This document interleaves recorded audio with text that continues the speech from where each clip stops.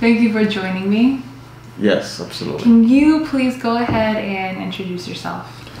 All right, my name is Namdi, and I have been an RN for 12 years now.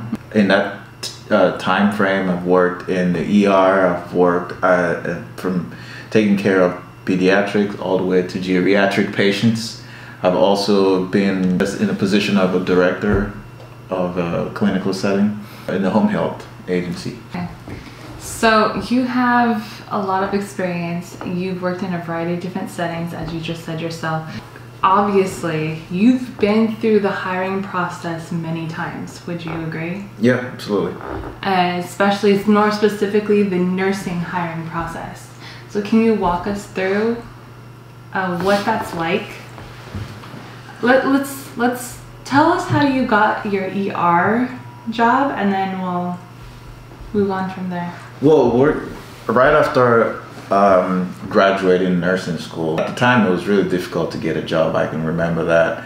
But I started off working in home health first six months, and then okay. quick, and during that time, I was I really wanted to get a hospital job because you know you have to get a, you have to start as a new nurse. You want a situation that exposes you to get in work learning your skills or practicing the skills and getting really good at it. Yeah. So I did what I could to get into a cardiac telemetry unit. And after spending some time at the cardiac telemetry unit, I then worked in the ER when the position opened up. I really enjoyed working in the ER. One of the main reasons why I enjoyed working in the ER was because of it allowed me to be exposed to different uh, patient conditions or patient illnesses, whether it's from chest pain to GI issues or uh, you know neuro neuro problems or whatever throughout that span. You, you working in the ER exposes you to all these patient types, mm-hmm. and that was part. And it was also fast paced. I really thrived really well in a fast paced environment. Right. Okay, given all of the different types of departments that you have worked in as a nurse, what would you say may have been the most competitive? I would say there's a lot of alpha type personalities in the ER. I okay. did work a little bit in uh, cardiothoracic ICU. The pace is a lot slower. You're dealing with really critical patients uh, that are either pre heart surgery or post heart surgery. I enjoy that working in the cardio- cardiothoracic ICU because there's a lot of thinking involved. Mm-hmm. That is, mm-hmm. there's not that there isn't any thinking in the ER, but you're dealing with really critical issues in the ICU. In the ER, there's a lot of competition among workers, co-nurses. Co-nurses. I wouldn't necessarily consider it call it competition because I like challenges, so being in that environment only makes me want to be better at my practice. I find that's where you see a lot of that. Um, Is there like power clashes a lot? Um, nurse against doctor, or mm, you know, nurse and admin people. It depends. It depends on the culture of that ER, culture of the clinical setting. Now, okay. there are some environments that that foster collaboration and education. And yeah. you find that people want to come help. There's your coworkers seem to want to learn. There's a lot of in-service the managerial staff and admin staff are hands-on and they're involved and they want to know more about you. Is that specific to the type of setting do you think or is it more to the organization? It's it's the organization. It's the organization so you would find like disorder depending, if it's an organization that fosters disorder, then you would find it regardless of what department you're working in. That's true. And I think that it's, a lot of it comes from top down, the management. If, if management sees their nurses as just numbers, you're gonna uh, experience that in the work morale and the staff morale. You're going to feel it because okay. you're gonna feel like your voice isn't heard and when you raise certain issues you're either there's you're either reprimanded or, or well not necessarily reprimanded up front but you don't feel like they're, they're, your voice is being heard um, is that common I noticed that a lot. culture? It's starting to get better. Uh, there's start people are communicating more now. Um, so younger people, fresh fresh minds, people who are more connected and used to uh, being online and and talking to different kinds of people and being open to different opinions. Those type of people are starting to come into management, and including me. I'm an open-minded person, so I want to hear your opinions. I want to talk to you and see how I can make your day better. So when you have those kind of people in charge, you're gonna have a better staff morale. Not necessarily the the department, but it's the people. You know, It's the people. the, the people make a huge difference. So, does that start with the hiring process? As in, like, does the nurse recruiter or the department manager, does it start with them hiring the right people, or does it start with them trying to build a, bring in anyone and trying to build a culture amongst whoever was brought in? It, again, it's, it's top down. Um, certain hospitals are better than others. Certain clinical organizations are managed better than others. Uh-huh. Some organizations focus on the bottom line, and they will cut down resources for the nurses, or they will either like short staff or not pay staff well enough, or there's so many things that people organizations that focus on the bottom line do that I find to be counterproductive when it comes to productivity in the clinical setting.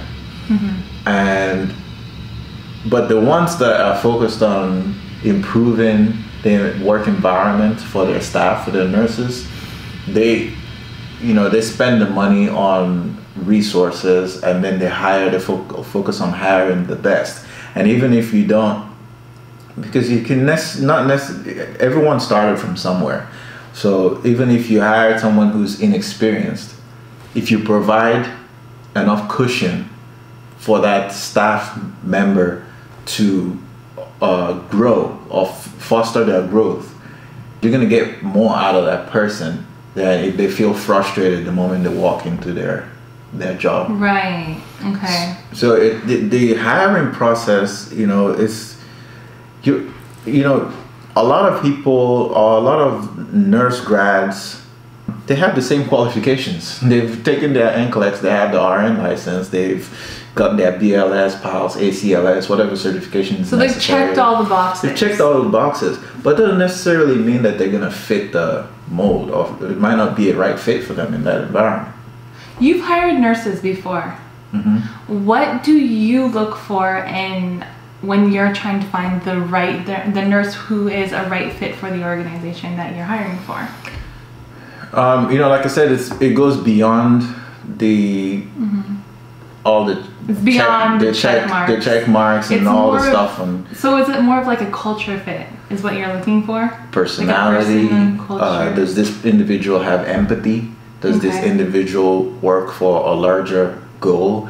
Um, do they see their working their job as an opportunity to impact society or impact their fellow human being, or do they just see it as an opportunity to make money?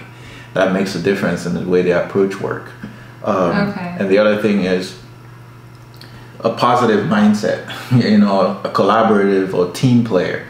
Those come that, that comes from me when I have a conversation with the individual. I'm trying to see what they've done that's unique in their life. I try to take the conversation beyond what's on their resume, and I'm talking about. So, what's exciting that you've done within the past one year? That's not work related, because I want to know what kind of person they are, what they do on their spare time, if uh-huh. they have unique hobbies or unique sets of skills.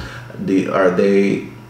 I've met people. I've hired uh, staff members who are, you know, like church leaders, or they're singers at their church, or they coach a volleyball team.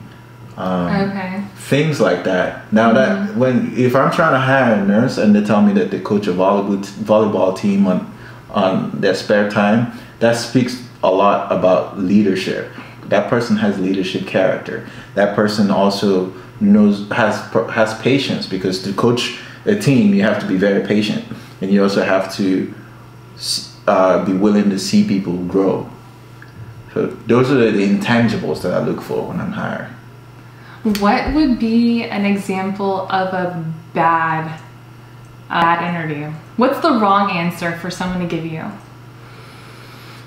You know, one is tell when when if you're in a if you're looking to get a job, you're a, a candidate for a position as a nurse. Uh huh it's important that you're you've done a little bit of homework and read about about the hospitals or the position that you're going for. Uh, it's it's important that you know a little bit, bit about the organization. Uh, you don't have to know a lot. I also want you to ask me questions because you, I can tell you care. Um, also, it's also necessary that uh, as a nurse candidate, it's also important that you you present yourself in an upbeat positive attitude. You're not talking back bad about your previous positions. You don't have any negative comments about the people you've worked with or your previous relationships. That doesn't right. speak very highly of. It doesn't speak low about the, those people because I don't know who those people are. It speaks about much about more about you that I'm looking at. It's important for you, for me to feel that I I can work with you. You know. Uh-huh I, we're not going to be button heads. You know, it's also a chemistry thing where I have to feel like I can get along with you. Also, that you see things in a more positive light than you're focused on things going wrong. You know, what I mean, I. Right. That's how I feel. It's also important to see that you're solution oriented. Solution oriented. That's right.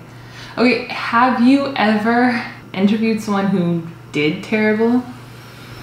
and you were just like definitely not that person i can't think of one at the moment but uh, a lot of times when i don't move forward with a uh, hire is it's because i didn't feel that they were they didn't meet any one of those criteria i just listed okay. where they were not solution oriented or they spoke negative about any particular situation or the things that they were saying didn't make me feel like they were team players or they weren't they weren't going to be a right fit and I don't want it to come off as a scarlet letter on that individual or that they're you know bad people or anything right. like that.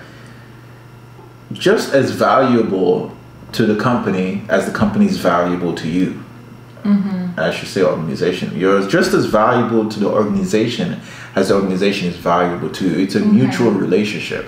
So yeah. if through the after the interview, um, you don't get the job, don't feel bad. You know, I, I it's important to know that you just, it's just not a right fit. There's a, there's a lot of hospitals, there's a lot of clinical organizations, there's a lot of healthcare organizations that mm-hmm. you can apply to that you will be a better fit for.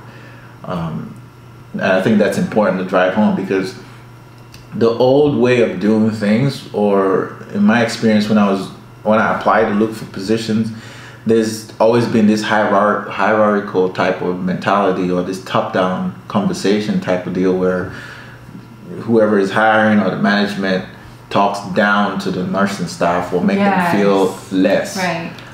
Uh-huh. I don't find that productive in any way. Yeah. We're all co-workers here. It doesn't matter what title you have.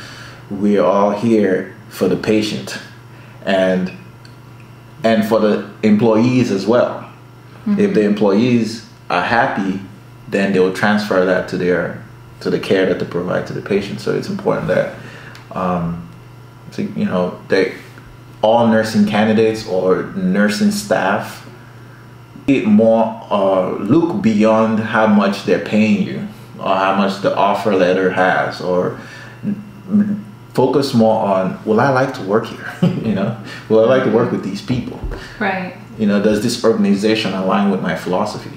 Mm-hmm. That's more important. Perfect. Um, I do want to ask you if you have any advice, if you have any advice for nursing students who are probably about to start looking for their first job. If you're a nursing student or nursing grad, or a new grad, or a nurse candidate looking for a position, mm-hmm. in addition to the things that I already mentioned, uh, apply wide and it's also like I said, it's important to highlight what makes you stand out. What is, what are the stellar qualities? What what are the qualities that make you a stellar nurse? Or that what why should I hire you? And it has to go beyond what's on your resume. Because a lot of people have the same thing that you have on your resume or even better. Right. So when I speak to you, I have to find something that clicks. Now I also know as someone who's hired a lot, bef- hired bef- you know a lot of people before that. At the beginning of a relationship, it's almost like Everyone's on their best behavior. yeah, it's almost Yeah. like forecasting. You can't forecast the future. Right. People are at their best behavior during interviews, so you're never really gonna know whether the person is gonna be a right fit until they start working. Mm-hmm. So I've always thought about it like this: Do they meet all the checking points on their resume and, and the requirement? Can I talk to them? Do they laugh? Do they smile? All right, you're hired. Then, if after the third month or so, uh, during eval, if you don't meet, uh, if, if if things are not working out, I'll be quick to let you go because it's good for you and it's good for us because you need to go find where you're a better fit and me i need to find someone who's going to be a better fit for the organization.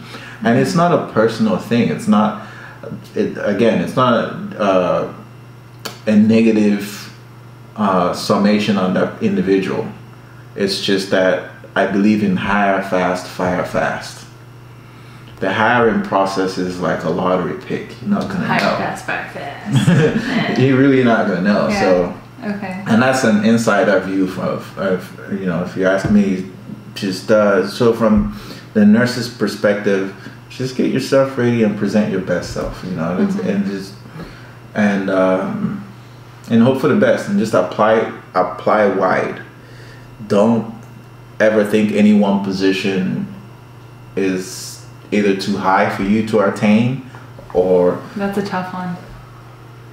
Right yeah, don't don't ever think that you're too Sometimes you just, especially when you're new, you have imposter syndrome and you just feel like, mm, I, I'm not ready for that, or that's not me yet. Maybe one day. Or A lot of positions you learn on the job. I agree. so I just agree. apply for that position you think you're not going to qualify for. You might be surprised you get picked. hmm So uh, um, give your chance, give yourself the at bat, give Mm-hmm. yourself the opportunity, and if you don't get it, it's okay. Just keep moving. Just Keep keep on moving. Apply to the next one and keep going.